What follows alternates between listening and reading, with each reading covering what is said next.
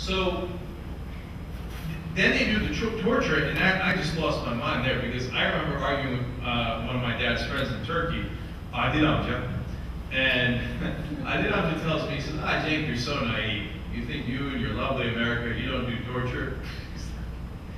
Everybody does torture. okay. And I said, no, no, no. You know, Turkey should reform. We shouldn't do torture. There are more effective ways. He said, you'll see, you'll see. And of course, lo and behold, it turns out America's doing torture in Iraq. Then I get a call from Adil Amca. He's like, oh, what happened now? right? So your America doesn't look so good anymore. And it doesn't. And, and I, I really resented Bush and the Republican Party for sullying the good name of this great country. Okay? They took the shining city on a hill and they lowered it. Okay? And they turned off the lights. So now we come to this election, and the reason I told you this whole story.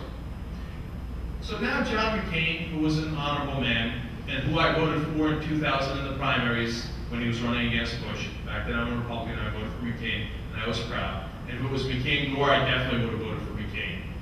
Um, now McCain comes around and changes all of his positions to fit the worst part of the Republican. Before, he said uh, that he was against the, what he called the agents of intolerance.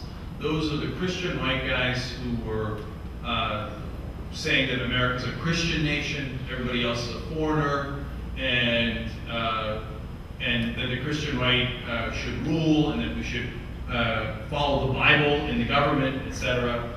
And he said, no, they were wrong. They're the agents of intolerance. Changed his mind when he's running this time, and what did he do? He went and spoke at Jerry Falwell's University at their commencement speech, basically kissing his ring, as they say.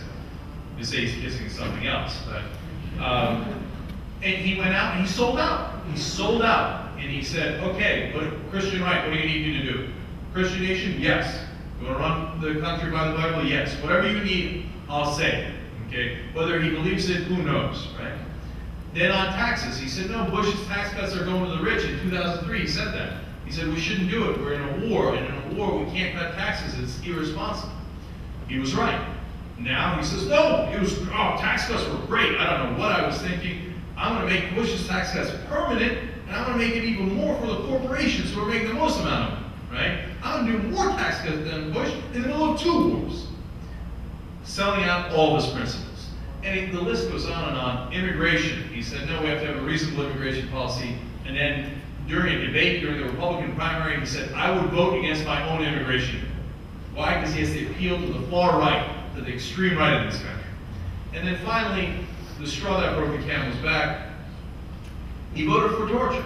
A bill came out in 2007 saying, can the CIA allow, uh, be allowed to do harsh interrogation techniques? By the way, that's exactly what the Gestapo used to call it. I'm not making that up. That was from a conservative website, Andrew Sullivan's website. He found an old document uh, from 1933. The Nazis used to call it enhanced interrogation techniques. Exactly what we call it now. Okay. Now that was 1933. The Nazis took it a lot of steps further. We haven't done that. Okay. But that's how they began, and that is the direction that these guys went. And John McCain went in there and said, yes, I vote for enhanced interrogation techniques, allow the CIA to use. And we had a general on the show, and the general said, uh, yeah, if you allow the CIA to do it, that's the back door for the whole government to do it. Because then we don't use the armed forces, we bring the CIA in and go, okay, now torture this guy and give us his information, okay? So th that was John McCain, the candidate, and then finally in these last couple of months, he took it an extra step, and it got really ugly.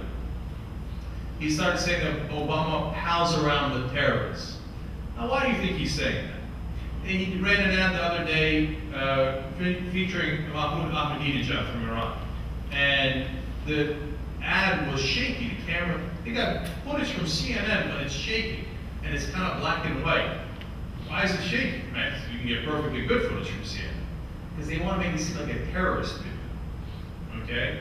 You know how you see the hostage videos and it shakes? Okay? And they want to label Obama as the other. He pals around with terrorists, and uh, he's, and then they went to the code words like socialist. He's a socialist. And I said, it's like that raising taxes by three percent, how does that make you a socialist, right? No, what I didn't know when I found out during the course of the campaign is socialist is a code word that we don't understand, but a lot of older Americans understand. They called Martin Luther King Jr. a socialist or a communist. Why? Because he was trying to get rights for black people. They're like, what are you gonna make everybody equal like the communists? So they accused him of communism and socialism, okay? And Malcolm X, socialism, communism. Those are code words. Here's another code word, spreading the wealth. You know how they're complaining about how Obama is spreading the wealth or wants to spread the wealth? At first, I didn't understand that either. I was like, again, 3% spreading the wealth. What are they talking? I think most Americans think, yeah, the guys at ExxonMobil make too much. The guy, the CEOs on Wall Street make too much. Damn right, let's spread their wealth, right? No, but spreading the wealth is a code word for, hey, white people, they're gonna take your money and they're gonna spread it to black people. Because they use it in the same speeches as welfare and et cetera, et cetera. All these words that are meant to say, you know what? If you elect Barack Obama, he's gonna hand the country over to Iran, he's Muslim, and he's black, okay? And he's gonna spread all of your money out to black people. And that's why that girl the other day, if you saw that story, pretended that she was attacked by a black guy, and she wrote, he wrote B on her face, as if, okay, when, if Obama wins, black people are gonna say to white people, okay, we're in charge now, sit down. We take all of your property, right? And we put a B on your face. Except the girl was so stupid, she did it in the mirror, so it was backwards. Okay? And the cops were like, wait a minute, why did he put it in backwards? Right? And then she confessed and said, oh, I'm sorry I made it. Okay? So